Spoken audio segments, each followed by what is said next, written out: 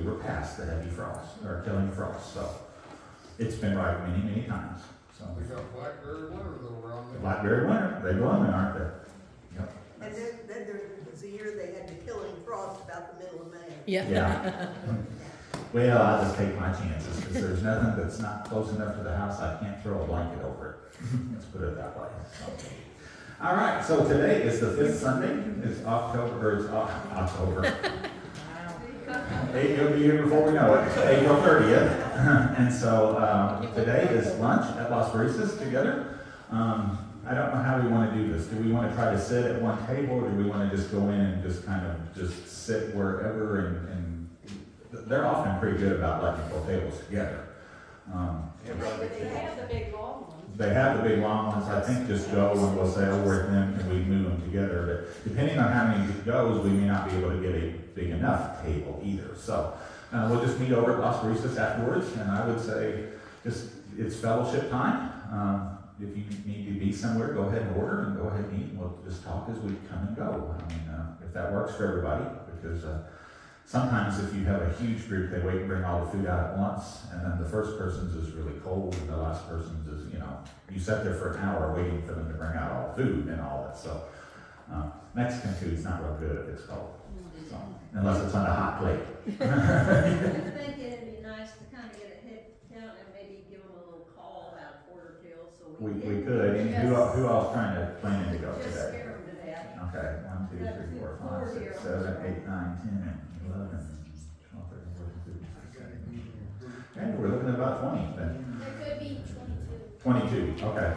So twenty-two or so, yeah, we might need to do that. If you can get them to answer the phone, that's Well, they don't open till eleven. They don't open till eleven, so who wants to volunteer to call? Judy. Volunteer. Good. George volunteered by, by way of Judy. I, I think we, we don't necessarily have to be at one continuous table, do we? I mean, a couple, ti- we, we, because twenty is a lot to get in, or twenty-two is a lot to get in at one place, so. All right. Well, I'm looking forward to my chicken soup, and I have been ever since last week when somebody mentioned it. So, never had it. All right, so this, um, one thing I do need to know, uh, if anyone's graduating this semester, uh, if, if- please let me know. I know we have one college graduate, I'm not sure about it. Two.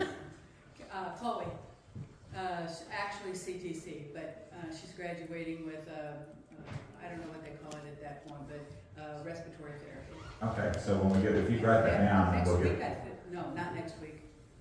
two weeks. Seventeenth, whatever. The that 17th. is. 17th. Well, if you don't mind to write that down, I'll Okay. get it announced. I'm just trying to get prepared for one that's closer to the time, but, uh, uh, I don't know if we have anybody out in, in the church graduating. Lydia, oh, I said we have one graduate student. Lydia will be. But, uh, yeah, she didn't. I've already But- twice. But I'll be happy to recognize anybody that's gonna graduate, that's not an issue. But I just don't wanna leave anybody out, let's put it that way, okay? All right, so this coming Friday night is Church Women United. It is, uh, here at six o'clock. Uh, we are the host church, and, uh, I'm sure they would be happy to have anyone come and join them. Um, Susan Linicky has been a member of that for many, many years, and, um, it's a neat, my two aunts usually are here, et cetera, so it would be, uh, opportunity for six o'clock, just uh, they eat and they uh, have a, a program of some type, but I'm not that familiar with Church Women United. I know it's been around for quite a while. So, But that's uh, Friday night at six o'clock. Preacher, Yes, Mama asked, uh, everybody know that her and Candy are preparing most of the meal. It'd be okay to eat, don't worry. oh, okay. So she and Candy are doing most of the meal. So, well, I will say there are times though when I go to potlucks that you, you walk by and you wonder, who made that? Or what, what is that? You know, so. Okay, uh, so next Sunday will be, um, uh, communion, and if it's okay with the, the council members, I just talked to Kathy, we may move the church council meeting to next Sunday. We usually have it the second Sunday, but that's gonna be Mother's Day, and so a lot of times people wanna get jet out, uh, to go for Mother's Day things, or they've got lunch or something, so I'm, I'm seeing head shakes, so we'll just do it next Sunday. I don't think it'd be a long meeting in any way. Uh, if, and if you can't make it, that's fine, we'll fill you in. But, uh, it's, uh, Mother's Day is kind of a time when you traditionally hit the lunch spots and things, so we'll just plan on that. After that, we're down to, uh, Memorial Day services on the 28th, and we will be uh, doing our Memorial Day service out at the cemetery, uh, as we always do. So, anything else that I've missed as far as announcements? Birthdays? Today, it's the 30th, so I'm gonna have to switch pages here. Because there was nobody on April 30th. Let's see what May brings. Mayflowers, which bring pilgrims. Bernadette Shrine has a birthday. Tuesday. Uh, Mackenzie Daniel has one on Wednesday. Christian Maestro Prieto Thursday. Ethan Lixendale Butcher on Friday. Casey, Casey Sander on Saturday. And then that'll take us to next week. So we have, let's see, Dale and Bernita are both here. So we'll go Bernita and Dale because that's alphabetical order. No favoritism here. And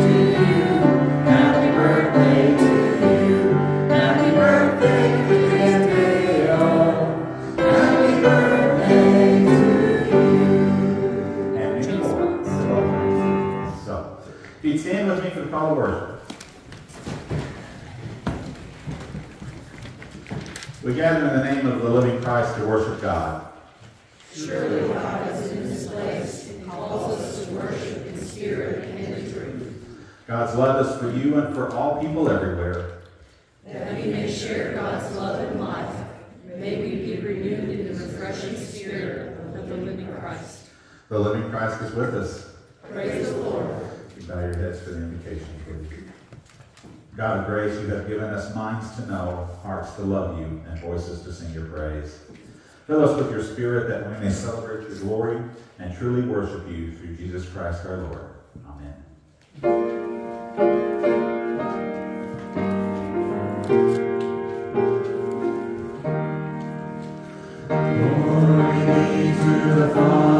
Please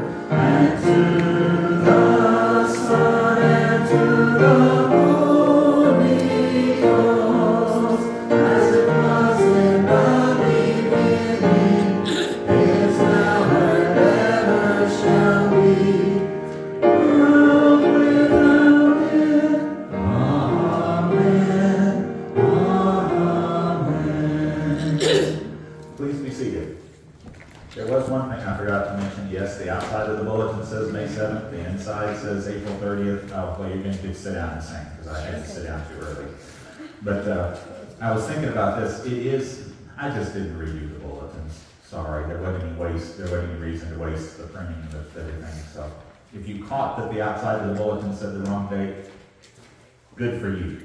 There'll be a mint for you in the back when you leave. you know, it happens. I had the, uh, well, if you know how it works, you gotta have the two pieces of paper or something. I just slid the wrong one as the wrong one, so it's, it- it's good. Okay, so open your hymnals to three thirty-eight. This is a good song. Very fast moving song. Great, yeah, I'll. Taking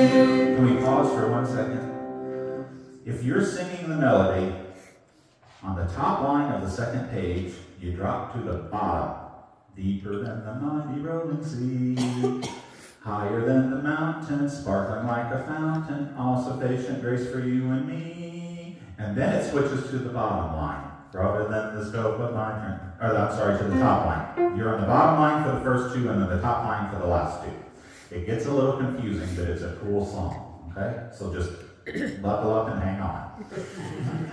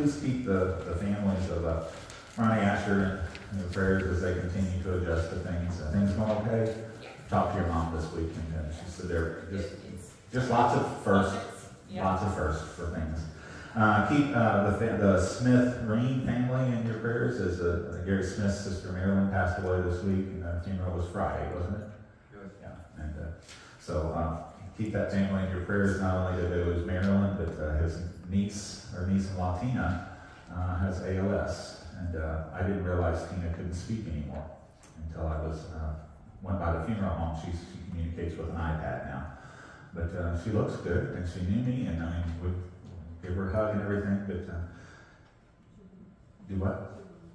She was in your class. Okay, so lots of uh, just just keep them in your prayers.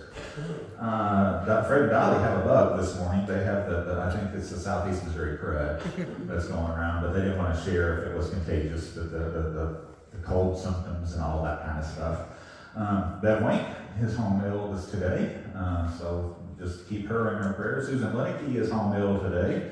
I think there's some crud and bronchitis and all of that going in with all of that, and no wonder it's 40 degrees in the morning and it's 80 degrees in the afternoon, and there's pollen. If you leave your car under a tree, you can literally see the pollen laying on it, and so no wonder we're all a little bit sick.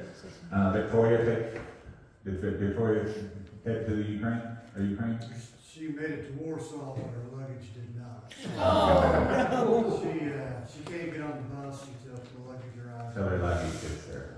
So They, uh, they won't deliver luggage into Ukraine, so. yeah. uh-huh. Well, that's the thing. That's a pain. When we were in Egypt, there was a family whose luggage literally got there two hours before they were to go home. or, or three hours or something like that. Uh, we went for nine days and it got there on the eight and a half day. Uh, and so they came to dinner that night and we didn't even recognize them. They were dressed up. well, of confess, we, we thought they were kind of sloppy people, you know. And this woman comes in with all her makeup and her hair done and this beautiful dress and all this, and we're like, has she been with us all week? And then we, she said, our luggage got here.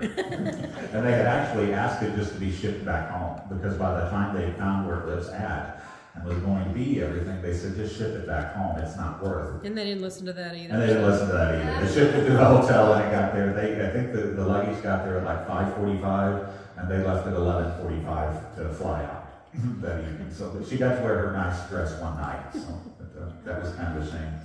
Um, so keep all those in your, your prayers. Anybody else that I'm, I'm forgetting? Yes, Catherine. Um, I just got a text this morning, I'm gonna cry. One of the girls, her stepfather committed suicide. Aw. Last night, they found him this morning. You're uh, one of your students? One of my, uh, one of my coworkers. Your coworkers. Her stepfather. Okay. So, One of your coworkers. All right. Yes, Paula. And um, Jim Young uh, passed away Friday evening. A lot of people know him from Optimist Club, uh, History Center, Southeast Health Point, um, Bingo World. I mean, he was big in the community, and that was uh, Friday evening. Friday evening. I don't know him. I may have saw him. I may recognize him. Pam? My Aunt Darlene f- decided she was gonna clean out the ditch across the road from her house, and she fell and broke her shoulder. And so she had surgery Friday. She was feeling pretty good Friday night because they had uh, used a nerve block, and so she wasn't feeling any pain, but I'm kind of pretty sure she's feeling pain by now, so if you could remember her. Thanks, Paula, for the beautiful iris. I always think of when I lived in Potosi for four years, because in Potosi, they called them, you remember? Flags. Flags. And it made sense because the French flag is the fleur-de-lis, or the, the iris. That uh, fleur-de-lis is the iris shape, is what it is. They call them flags. Uh, Wow, you lived there longer than I did, and I knew that. But, uh, yeah, they call them flags. I think because Rhonda Ferris liked them so much that she lived, she was just catty cornered from me there. And, uh, there was a whole patch of them right there in front of Bill Mer, uh, Bill Mayberry's house. Well, I know we're leading y'all out of this conversation, but he knows what I'm talking about. Uh, there was a lot of, um, iris, and I always thought iris were beautiful flower. They're just a once a year kind of thing, but they're beautiful. Anybody else? Anything good happened this week? Yes, My granddaughter signed a letter of intent to go to Maryville I saw that. on a pole vaulting scholarship. Pole vaulting, yep, mhm, yep, I saw that. Because actually, one of her coaches, I know, Ryan Long, uh, his mom Susan was my other assistant principal at Saxton for many years, so I've met Ryan several. Yes, Lydia gets to be not an honorary, she is going to be carrying the banner for the liberal arts, School of Liberal Arts for graduation on the thirteenth of May. yep. She found that out this week, so. She was chosen not only for the history department, but for the whole School of Liberal Arts. So she will be what's called the honorary marshal, which means you get to carry the banner, uh, which is kind of cool. Gives her a purpose to be there because she wasn't going to go. Say a couple prayers for Lydia. She's a little anxious right now. She's her her advisor is in uh, England, and then his dad had emergency surgery Friday night, and she's got a thesis defense coming up, and she's having trouble getting some of those people to respond back on what needs to be done. Anybody that's been to college know they don't always work that quickly. so uh, she's a little stressed out, but I, I assure her it's, it's going to be good. And if they ask you to be the honorary marshal, they're not too worried about the graduation process. you going through there one way or another. it's that simple. So. Anything else? Yeah. Nick interviewed for an FFA You mm-hmm. told me, I Office. forgot that. and he will be the assistant chaplain. Assistant chaplain, Awesome. which is good for a sophomore. Because most of the time, the, the officers go to the, to the upperclassmen. Uh, so, thank you. We're proud of you, Nick. Good for you. So, anybody else? Let's go to God in prayer this morning. Father, we come to you today on a chilly morning, on a day that you remind us that uh, cool weather and sunshine are all intertwined. That beautiful days come with not so beautiful days, and as the quote from the Easter sermon said, if we lived in sunshine all the time, we'd have nothing, eventually have nothing but a desert. Thank you for reminding us that sometimes we have to go through the valleys to reach the mountaintops. Father, we come as a group of people praying for those that are ill and sick and the various different things that have happened to people. We pray that you'll continue to be with them and guide them and hold them in your hands.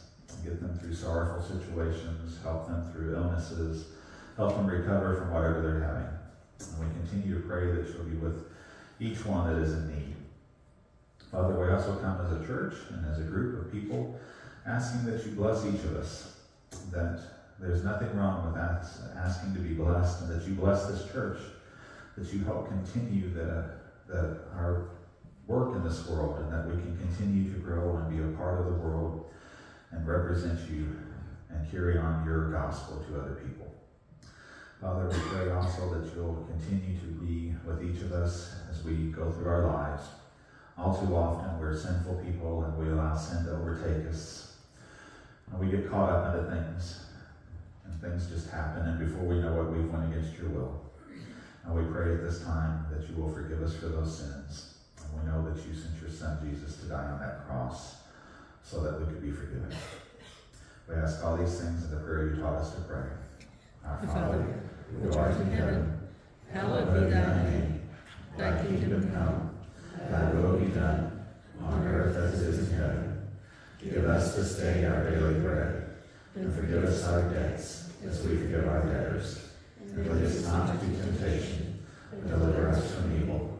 For thine is the kingdom, and the power, and the glory forever. Amen. We have some special music. I think Bernita has a song she likes to sing for us. My standby.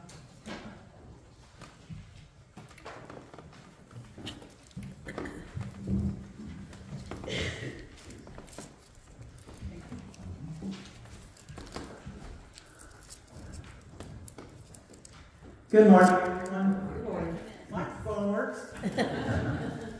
Um, I've been thinking about this song for the last month or so. Um, I've got a new job. Thank you, Beverly. Um, another Jeep. Thank you, Lord. and um, you go through life thinking, well, you've got this disappointment or this thing you have to deal with or this blessing that you want to share with everybody. And sometimes you look at people and you don't know what they're going through. So you sing a song like this and you thank Him for the blessings that you have. Then God knows that you're out here and you're letting Him know what you need. So there's always hope for the future and think with a positive attitude and you'll be blessed. If it's, if it's nothing if somebody smiles at you on the street, they smiled at you. Smile back and go on. You've been blessed. So uh, I hope you appreciate this song. As the world looks upon me, as I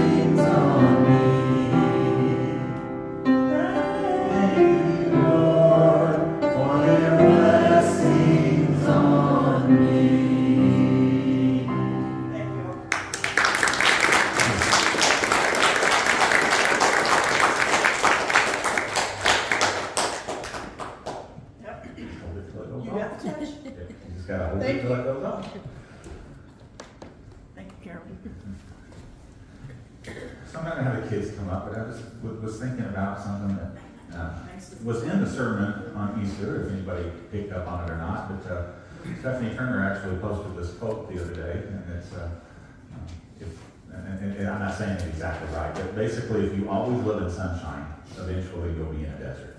And I think that's important to remember. Because this week was, uh, a little cold, a little misty like, a little, little nasty, wasn't the nicest to be out every day. But you know what? If all we had was sunshine here, what would happen? It would never rain. It, it would, it'd never rain. Okay? Gardens would dry up. Everything, the gardens would dry up. Just be saying, Everything would, I don't, I don't know if everything would die, but it, lots of things would die. We wouldn't appreciate the sunshine. We wouldn't appreciate the sunshine anymore. Kind of on Bryce's thing, we'd have to figure out other ways to get water, wouldn't we? Yeah, uh, so just, yeah, northern, Cal- is it Northern California that's got all the, the drought and Southern California that's got all the flooding right now? Or I had that switched, I think that's the way it is. I don't remember exactly, but having, it, it kind of just, that quote struck, stuck with me because when we were in Egypt, it doesn't rain. And that was so foreign to us. And one of the reasons that everything looks dirty and grimy is because guess what? It doesn't rain. And we may think something looks dirty and grimy, but a good rain shower will do what? It'll wash your house off. It'll wash off things. You know, it does that. If you always had sunshine, eventually you just live in a desert. And so sometimes we have to go through those dark periods. Sometimes we have to go through those stormy periods and those rain showers and those periods that aren't so great to make us truly appreciate the sunshiny days that we have. Just thought that was kind of important to share with everybody. I just have never ever thought about that, but having gone to Egypt and being able to look at, I don't know what they call it, but I know the Rosemary's been there, but when you, you sit on that boat and you look out at the Nile, and in most places, I can't, re- is it the arid zone they call it? I can't, but it's the point where the, the water evaporates and it becomes totally dry. But because of the Nile, it's about six feet in Egypt. Most places, it's about a mile or so. So that things start just tapering off and, and it gets drier and drier as you go out. But in Egypt, so it was so fascinating to sit up there in Hampton you could see exactly where the desert started. because it's just how far out the Nile would, would uh, flood out. You could see the, the line. It was literally a however far they pumped. or however far they pumped, because anything that was grown out, as for crops or anything, was pumped out of the Nile. So actually, some of them didn't pump. Some of them had the horse or the donkey that they lowered the big bucket into, and then they hook the donkey up, and the donkey would walk, and it would raise the bucket out of the, and then they'd swing the sucker around, and they, three or four people have to do it, but they dump that bucket into those rows. And they did that all day long. So, I don't want to do that. So let's open our hymnals to three forty-eight. And we're gonna sing My Savior's Love. We will sing the first, second, and fourth.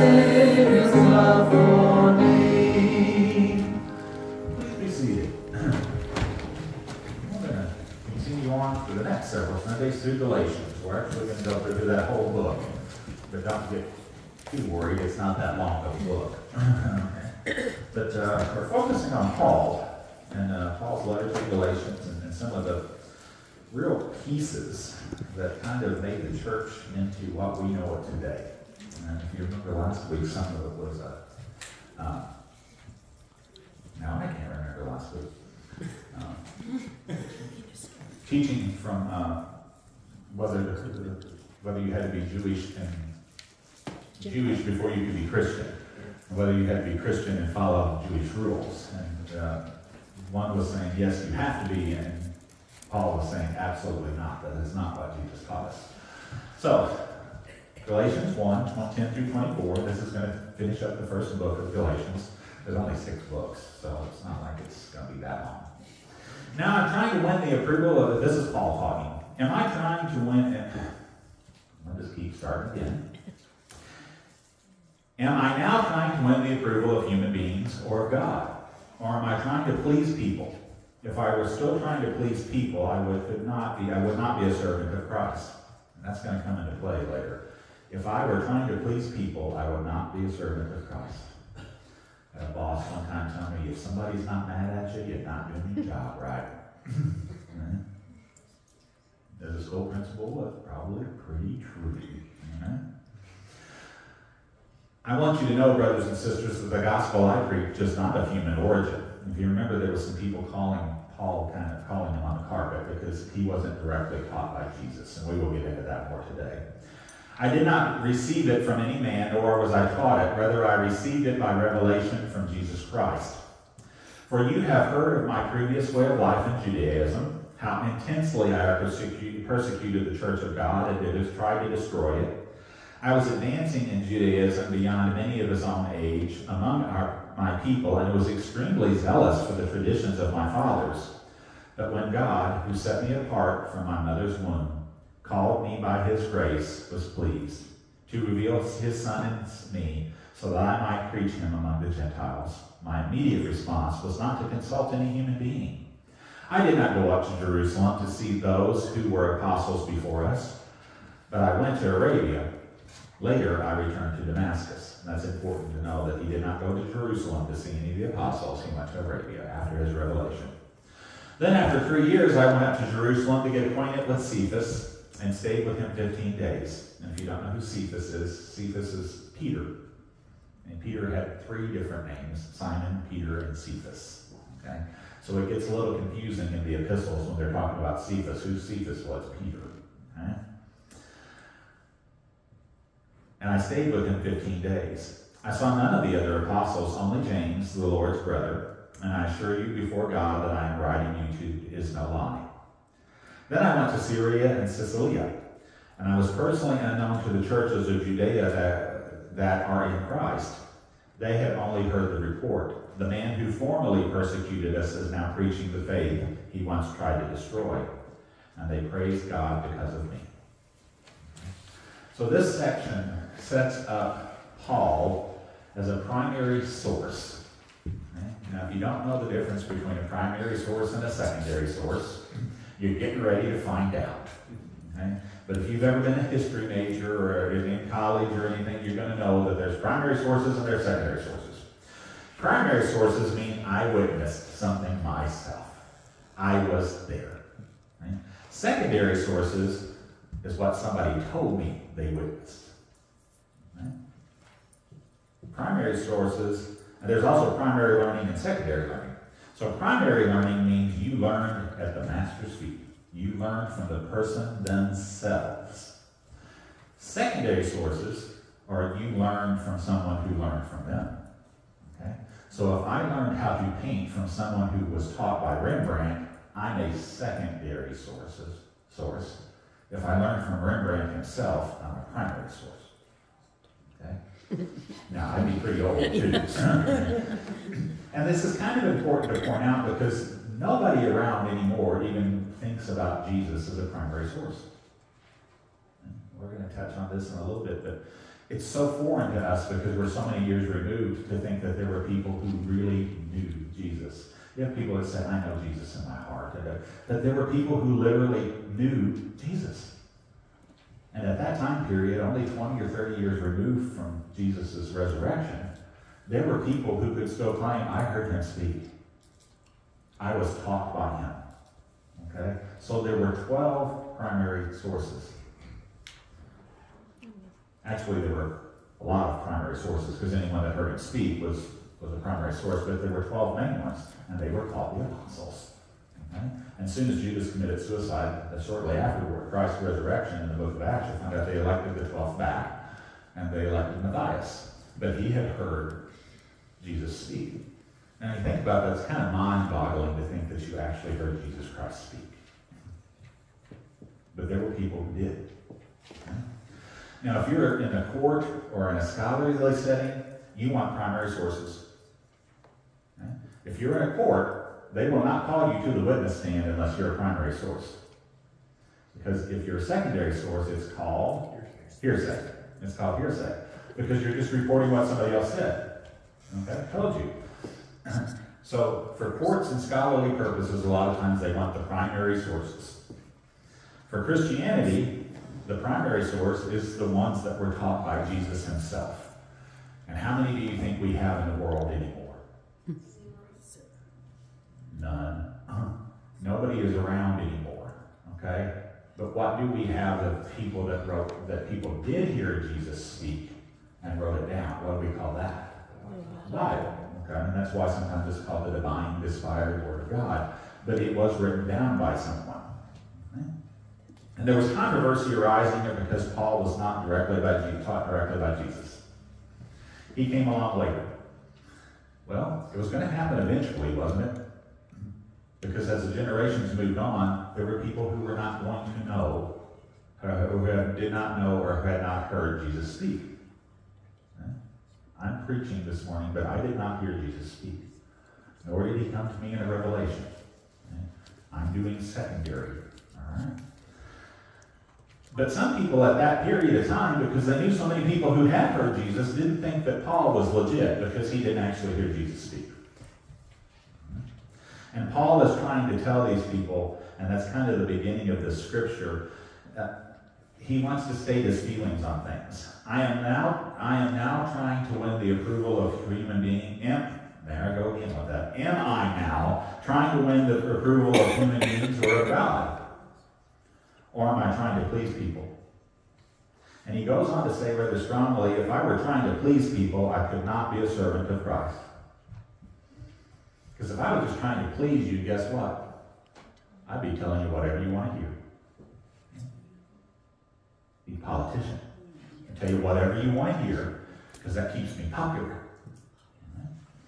Paul states that he is not just telling people his interpretations of things. He says, first, Paul takes us through a, uh, in this, this section, Paul will take us through a series of statements to try to prove that. I want you to know, brothers and sisters, that the gospel I preached is not of human origin. I did not, human origin meaning it's a secondary source. It, I didn't hear it from another human. I heard it from Jesus. I did not receive it from any man, nor was I taught it. Rather, I received it by revelation from Jesus Christ. For you have heard of my previous way of life in Judaism, how intensely I per persecuted the church of God and tried to destroy it. I was advancing in Judaism beyond many of my own age among my people and was extremely zealous for the traditions of my fathers. And if you study back in there, Paul was not a good guy when he was Saul. He was not a good person. He was very scholarly. He was well known, uh, well known as a young rabbi candidate in the Jewish faith. He knew the laws, and he was out there persecuting Christians like crazy. But Paul did have one thing that was interesting that a lot of the other disciples did not have, and Paul was a Roman citizen. Okay? Because as a Roman citizen, you were entitled to a great deal more authority and a great deal more rights and things than the other apostles had. So it made him very key in getting the gospel spread. And if you even, I think if you look in the back of the Bible there, you're going to see a, a map of Paul's travels. Paul could participate, uh, Paul was a full-born Roman citizen, which means he could vote, he could marry free-born persons, and practice commerce. Okay? And practice commerce, which meant he could deal directly with other Roman citizens. Now, we hear the apostles that were fishermen and so forth. They fished, they practiced commerce, but they didn't necessarily practice commerce with the Romans. They practiced commerce with their own people. They sold their fish to the Jewish people. And it wasn't uncommon for the Jewish people to even have an overlord that was Roman. So it's it. No one knows for sure, but it is possible that Simon, I'm trying to remember the the, two that were fishers of men. Okay, y'all don't know either, so I'm good it's possible that a Roman person owned the boat, and they did the fishing, and then the Roman person took so much of their profit. Was similar to a sharecropping kind of thing, or rental for land or whatever. It's, it's not uncommon. But Paul could practice commerce outright, and he had the right to vote. Okay? He could participate in the government. The other 12 could not. They were not Roman citizens. Uh, and therefore, they had no rights under the law. So if they wanted to, one of the apostles, the Romans just got rid of him. Not with Paul. Paul was a Roman citizen, so he had the right to a court trial, which makes things very different. Okay? Paul was placed at the exact right time, at the exact right point in of, of the world where he should be to get the gospel spread. And what he is arguing is, is you can say I'm not legit, but I saw Jesus. He came to me in a revelation. There were people around me who knew I was blinded for three days. I was set apart from my mother's womb. I realize now I was set apart. Because not only was he very, he, did he become very strong Christian, but if you listened, he was a very strong Jew. So he knew the Jewish laws. He knew the things that they were trying to push. And he realized after his conversion that not all these are right. You also got to remember that as a young man, Paul hated Christians. Hated. Saul was a young man who was well educated, on his way to becoming a rabbi. He was zealous about his Jewish faith. And he's first mentioned in the New Testament as being present at the stoning of Stephen, who was the first Christian martyr. Acts 7 57 says, As they covered their ears and yelling at the top of their voices, they all rushed at him, dragged him out of the city, and began to stone him. Meanwhile, the witnesses laid their coats at the feet of a young man named Saul. Now, stoning would be bad enough, but I looked up kind of how this may have happened. We think that they just picked up rocks and threw it at him. No, they dragged him outside and more than likely put him in the corner of a wall or in a pit and then threw rocks. Why? He couldn't get away. Because you couldn't get away. If you could just run away, you could eventually outrun them. But if they wanted to stone you to death, they had a way to do it so you couldn't get away. And who was standing there watching the stoning of Stephen, the first Christian martyr? A young rabbi to be named Saul. Hmm. Now, it didn't say anything about Saul throwing any rocks, because he was probably high enough in the ranks that he didn't throw the rocks. He just told everybody else to throw the rocks. Keep those hands clean. He was a bit of a politician. Acts 8.3 says, But Saul began to destroy the church. Going from house to house, he dragged off both men and women and put them in prison. And we've got to remember that Paul's name that we talk about now was actually Saul at one point. And Saul is one of the well-known Jewish names throughout history. Okay? Saul. Okay? Jewish names throughout history is Saul. King Saul. Okay? Better call Saul. a lot of times Saul is a big Jewish name, and Saul could be a derivative of Solomon. Okay? The first part is Solomon, S-O-L, but S-A-U-L, Saul, could be a shortened version of Solomon. Uh, Acts chapter 7 and 8 describe Paul's persecution of Christians, but chapter 9 begins Jesus' revelation to him. Now, secondly, Galatians 1 15 says, But when God, who had set me apart from my mother's womb and called me by his grace, was pleased to reveal his Son in me so that I might preach him among the Gentiles, My immediate response was not to consult any human being. So he's trying to set himself up. Okay, this was all revealed to me, but if you're saying I just learned this from other people, I'm going to give you some evidence that I didn't. Because after my conversion, I did not go to Jerusalem to talk to the apostles. I went to Arabia. Now, why is that important? Because the church hadn't expanded to Arabia. Arabia didn't have Jewish people in it. So, how did he know all of this stuff if he spent three years in Arabia? Later, I returned to Damascus. And then, after three years, I went up to Jerusalem to get acquainted with Cephas, or Peter, and stayed with him for 15 days. I saw none of the other apostles, only James, the Lord's brother. And I assure you before God that I am writing to you as no lie. So what he's trying to say is, is those people that are saying, I just learned this by listening to the other apostles, I wasn't even around them. I was in Arabia for three years. So it'd be like being a witness, it would be like being accused of something in court, and you saying, I got an alibi. You can't accuse me of this because I wasn't even there. And how many times has something happened in your life and you thought, glad I wasn't there for that one. All right? Glad I didn't see that. Because I'd be in on it. I don't want to be in on that. I do find it interesting that he mentions that he did see James, the brother of the Lord who was the leader of the church in Jerusalem. Because he is trying to set out that I did talk to James at one point. So don't let anybody say, I saw you talking to Jerusalem. I saw you in Jerusalem talking to James. I did talk to him at one point, but I wasn't there long enough to get anything done, basically. This may seem to ramble a bit, but it's important. It's an important part is to know that Paul states that he was set apart from other people to preach to the Gentiles. And that's what I meant by Paul was put in the right place at the right time, etc. The church at this point was starting to become a little insular? Meaning they weren't branching the way they could have. They were getting comfortable. The church of Galatia was getting comfortable. They were arguing amongst themselves when they should have been doing what? Going out looking for new people, that kind of thing. The churches uh, at uh, Ephesians, kind of the same thing. Everybody gets to a point where you reach things that are kind of comfortable, and so you don't want to change anything. And then what happens? That kind of slow decline that, that, that comes on sometimes. And Paul's trying to do, I mean, Paul was kind of arguing, I've been placed here to push that out. I'm a Roman citizen. I can go into these places and preach this and not get hung or not get stoned because I'm Roman.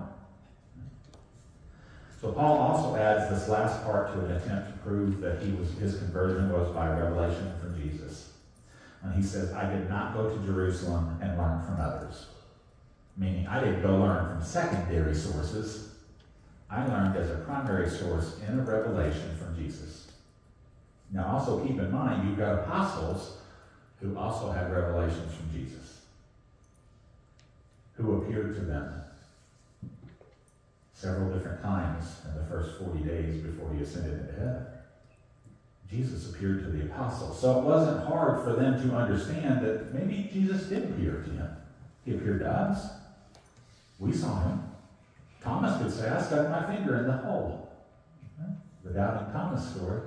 So I'm trying to get you to realize that we are so far removed from this sometimes that it's hard to think of people that Jesus that knew Jesus and that he appeared to them and could say that. Now, we have people nowadays that say Jesus appeared to me in a cloud in the sky, and we say they're crazy. Crazy.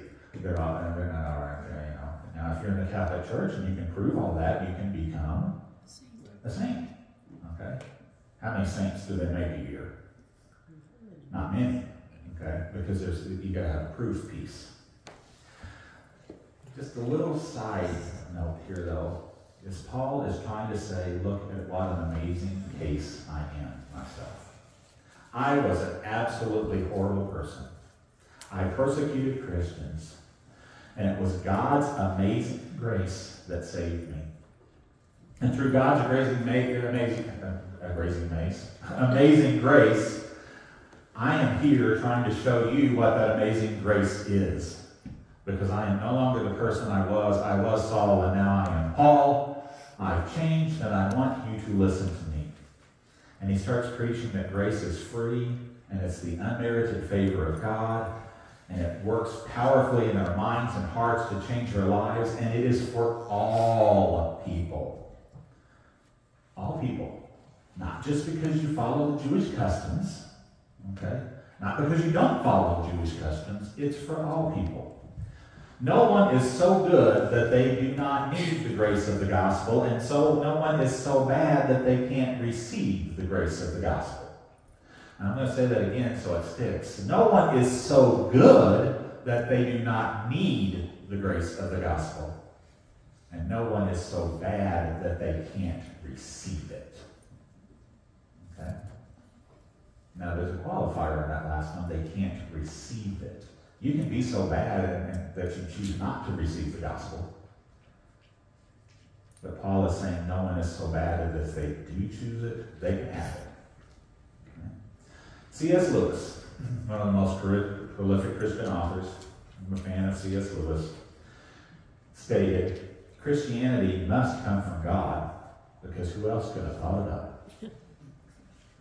If you're not familiar with C.S. Lewis, C.S. Lewis wrote The Lion, the Witch, and the Wardrobe. He wrote the Screwtape Letters. He wrote uh, all kinds of different things. He was a famous atheist. He did not believe in God whatsoever. His conversion was not like Paul's. Paul's came very suddenly. He was blinded. C.S. Lewis's came little by little over time. Okay? And for those of you just some trivia, C.S. Lewis was also the editor for uh, J.R.R. Tolkien, who wrote The Lord of the Rings. And so he did a lot of different kinds of work. But he converted like Paul, but like I said, it was a little at a time. And he became eventually one of the most prolific Christian writers of the 19th century. Okay? Um, Mere Christianity, if you ever get a chance to read that book, it's not easy, but it's a wonderful book. C.S. Lewis once had a professor by the name of William T. Kirkpatrick. And don't worry, I'll bring this back to Paul in a minute. But William T. Kirkpatrick was known as the Great Knock.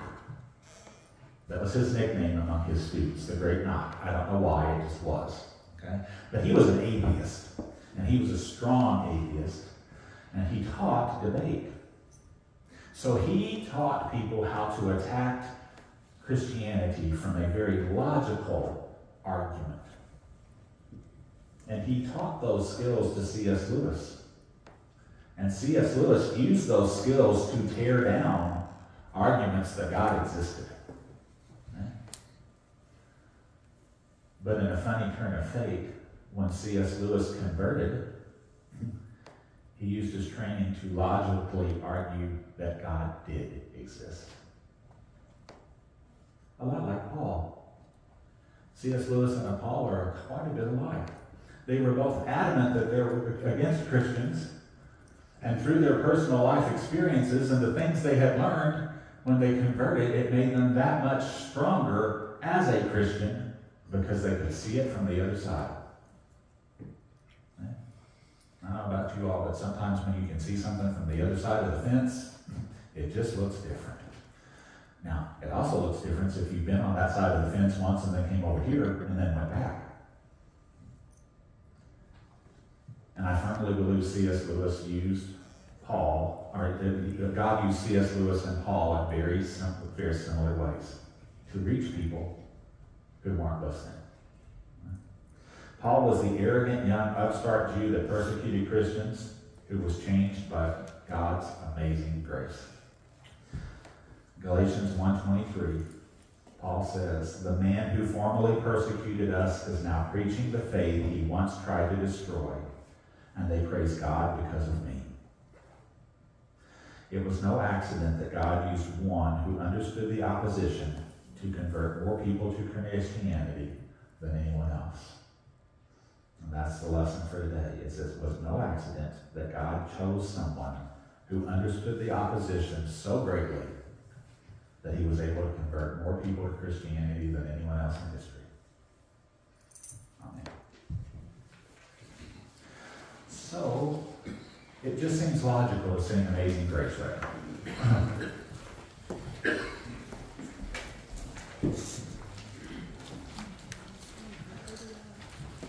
We will at 1, 3, and 5.